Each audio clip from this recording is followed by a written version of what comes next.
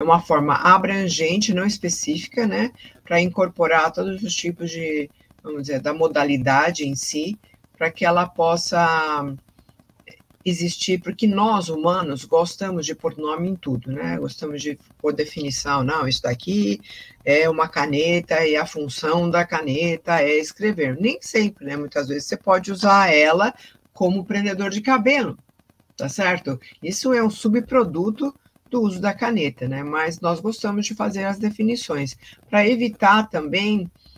Uh, eu acho que é uma maneira também para que a gente possa englobar todas as, as opções uh, de uma maneira que não, que não seja exclusiva, né? que não exclua ninguém, né? que seja um pouco mais abrangente. Esse é minha, meu ponto de vista para essa primeira parte que você disse.